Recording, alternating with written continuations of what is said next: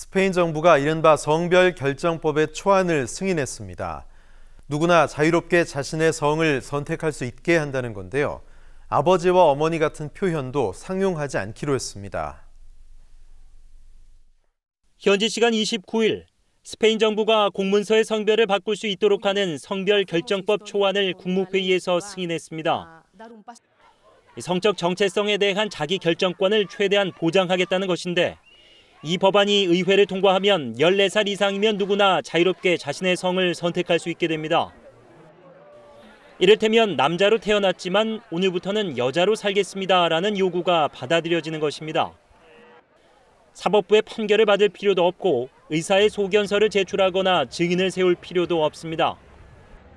Hay momentos en los que tienes que entregar un DNI y justificar situaciones, en, en, momentos en los que te parece injusto tener que justificarlas, igual que no lo justifica el resto de la población.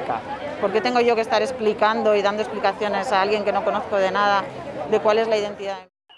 다만 14살에서 16살은 가족 구성원 등 법정 대리인의 동의를 받아야 합니다. 아버지, 어머니와 같은 표현도 사라집니다.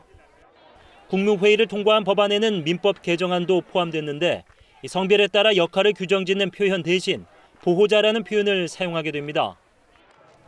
결혼의 정의도 남녀의 권리에서 사람의 권리로 수정됩니다.